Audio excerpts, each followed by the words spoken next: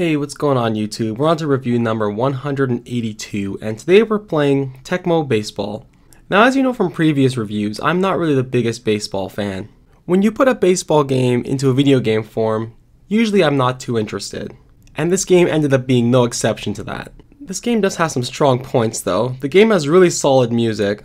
And when you're on offense, I feel that it controls fairly well. I still have some trouble batting, but when you're on the defense, I have the hardest time outfielding when it comes to this game or really any other baseball game. A lot of other baseball games have an indicator as to where the ball is going to fall after it's popped up by a batter, but I didn't really see one in this one. A minor gripe I'm sure if you're used to playing baseball games, but it was something that kind of put me off.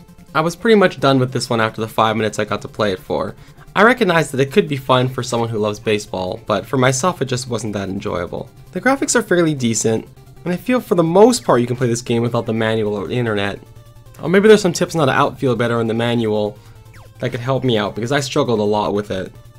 I didn't really find the game designed itself to be fairly cheap at all, and the computer is not really that much of an issue. There wasn't really any instances where I felt the computer was cheating. But let's take a look at the cover of the game and see how it looks. Looking at the cover, if you're a baseball fan, I imagine this would have drawn you in. But let's flip the box over and see what the back of the box has to say.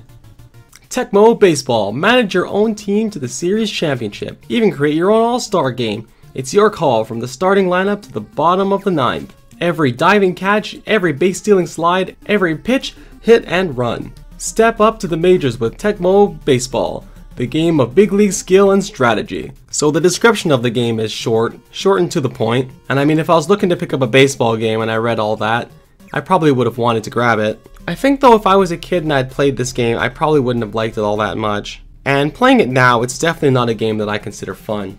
That being said though, if you do like a baseball game with kind of an arcade style feel, this game might be right for you. But it really didn't do much for me.